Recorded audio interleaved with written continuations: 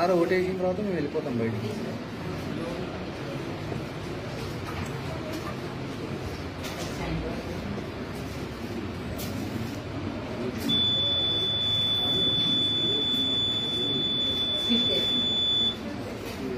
Yes.